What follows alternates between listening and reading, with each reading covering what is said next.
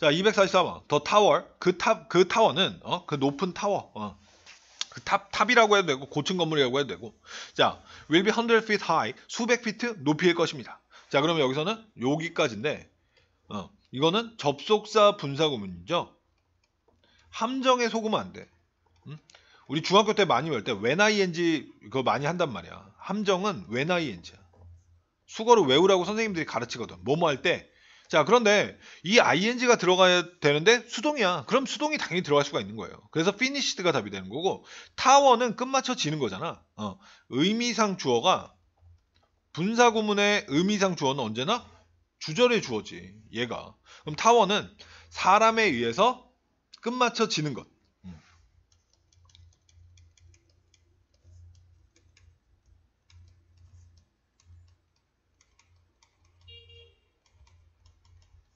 그러니까 수동태가 돼야 된다는 얘기예요.